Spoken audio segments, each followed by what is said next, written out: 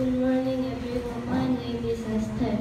Today is our speech contest day. My speech title is What do you want to be in the future? I will tell you about my future. I want to be a nurse. Nurse is working in the hospital.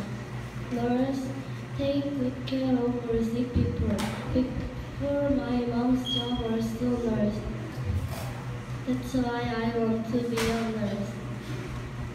But want to but be a nurse studying very hard. But I don't like study because study is not funny and very hard. And my friend also want to be a nurse. We will study together. And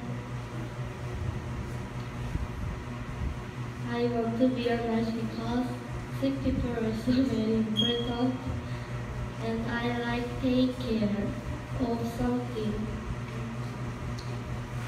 I want to go nice university because go nice university study in nice university I can be a nurse easily.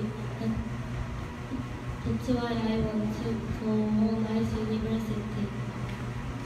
Nurse. Thank you for listening to my.